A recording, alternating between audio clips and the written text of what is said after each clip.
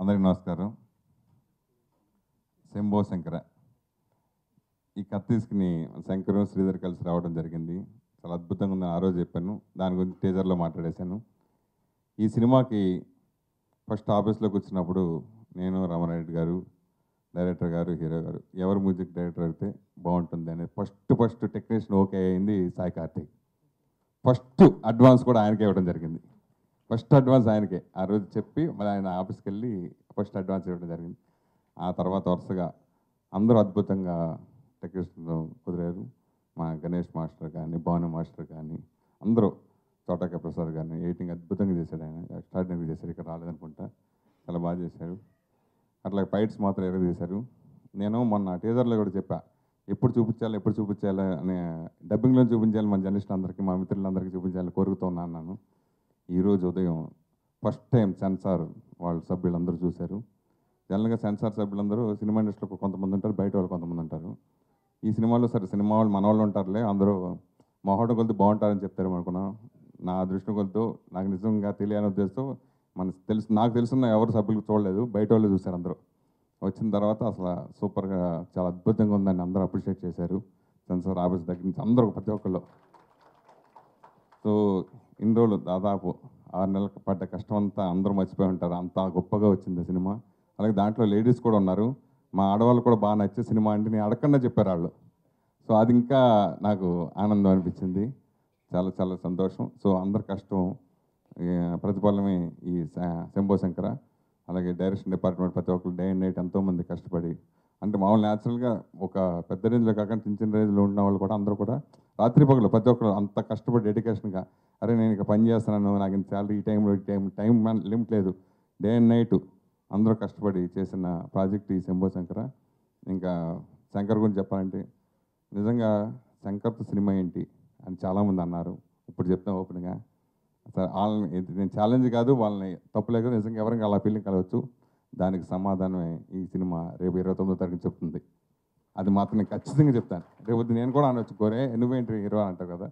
అట్లా నేనులో ఆయనలో నేను బిగినింగ్ డేస్లో మెగాస్టార్ని చూశాను బిగినింగ్ డేస్లో పవన్ కళ్యాణ్ చూశాను బిగినింగ్ డేస్లో బాలయ్యబాబుని చూశాను. ఇట్లా అందరు హీరోల్లో ఎలా కష్టపడతారో అంతలా అద్భుతంగా కష్టపడ్డారు కష్టపడ్డారు. ఒకరు కాదు ఇద్దరు. శంకరులో ఉన్నది ఇద్దరు శ్రీధర్లో ఉన్న ఇద్దరు వాళ్ళు ఒకళ్ళొకళ్ళు వాళ్ళిద్దరూ. సో అంత వాళ్ళిద్దరూ సెట్లో కూడా ఓ ప్లేట్ ఉంటుంది. రెండు ప్లేట్లు ఉండవు దీంట్లో తను తింటారు దాంట్లో తింటారు ఒకే ప్లేట్ కూడా భోజనం కూడా ఒక ప్లేట్ అనమాట రెండు ప్లేట్ అంటే సగం తగినవాడు తను లాగకపోవడం నిజమే అది కన కన్ఫామ్గా. చాలాసార్లు చాలా డేస్ చూశాను. అలాగే ఈ సినిమా కథ అనుకున్న తర్వాత డైలాగ్ గురించి భావన ప్రసాద్ చెప్తుంటే చాలా హ్యాపీ ఫీల్ అయ్యాను. నిజంగా జైలాగ్ కోసం ఇవన్నీ ఎన్నో అద్భుతమైన సినిమా చేస్తారు ఈ సినిమా చేయడం కూడా చాలా సార్ సంతోషంగా పోయినా చాలా అద్భుతంగా చేశారు సార్. మీకు డైలాగులు టీజర్లో వేసిన డైలాగులు ఈరోజు ఇంత మంచి రెస్పాన్స్ వచ్చింది చెప్పగలుగుతాను. అట్లాగే మన రమారెడ్డి గారు సార్ ఇలా బడ్జెట్ అంటే శంకర మీద రిస్క్ ఏమో రిస్క్ ఏమో లో లోపల భయ భయ భయ భయ పర్లేదండి ఏం కాదండి చేయండి పర్లేదు ఏం కాదు మీరు చేయండి. అలా అలా ఇదే మాట ఇదే డైలాగు. నిజంగా హ్యాట్సాప్ అండి నిజంగా. నిజంగా ఇండస్ట్రీ తెలిసిన వాళ్ళైతే ఇంత ఖర్చుపెట్టి సినిమా తీరు అది హ్యాట్సాప్ ఆయన భయం. ఇప్పుడు ఇప్పుడు ఆయన డబ్బులు వచ్చి మళ్ళీ నా డబ్బులు వస్తారా? నాకు నాకు టెన్షన్. ఆయన పెట్టేస్తాడు అన్న అమ్మకారు నెక్స్ట్ అనమాట అది సరే ఓకే. ప్రాడక్ట్ బాగా వస్తుంది అంత బాగా వస్తుంది. అట్లా అట్లా అట్లా మొత్తం మీద కంప్లీట్ చేయడం జరిగింది. ఎలా అయితే సూపర్గా నిజంగా మరెన్నో మంచి సినిమాలు. ఇప్పుడు నాతో చేసిన తర్వాత ఇంకొకరితో చేసిన తర్వాత మీరు సొంతంగా చేసిన మంచి మంచి సినిమాలు మంచి నిర్మాతగా మీరు నిలబడాలని ఆర్ఆర్ పిక్చర్స్ ఇక్కడ ఇండస్ట్రీలో ఓ మంచి సంస్థలాగా ఎదగాలని హృదయపూర్వకంగా హార్ట్ఫుల్గా కోరుకుంటున్నాను సార్.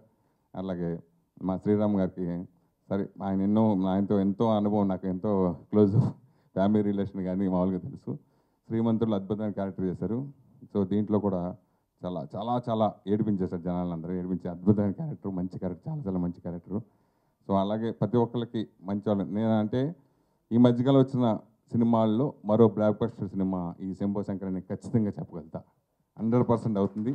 ఇరవై తొమ్మిదో తారీఖున గ్యారంటీ దొరుకుతుంది.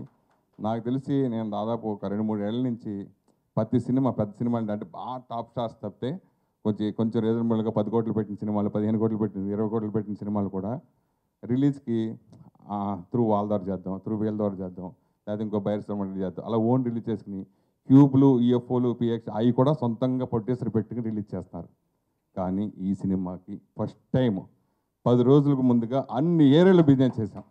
ఒక్క కెరియర్ నుంచి ఒక్కొక్క ఐదుగురు పది మంది పదిహేను మంది వచ్చి ఈ ప్రోడక్ట్ మీద శంకర్ గారు ఉన్న నమ్మకం మీద డైరెక్టర్ ఉన్న నమ్మకం మీద నా నమ్మకం మీద రమణారెడ్డి గారు నమ్మకం అందరి నమ్మకం మీద ఈ సినిమా చేశారు. వాళ్ళ నమ్మకాన్ని ఒమ్ము చేయదు ఈ సినిమా. డెఫినెట్గా పెద్ద సక్సెస్ అవుతుందని అవ్వాలని మీ ఆశీర్వాదం అందించాలని ఈ సినిమా పెద్ద విజయం చేకూర్చాలని ప్రేక్షక దేవుళ్ళు అందరినీ హృదయపూర్వక కోరుకుంటున్నాను. Thank you thank you thank you so much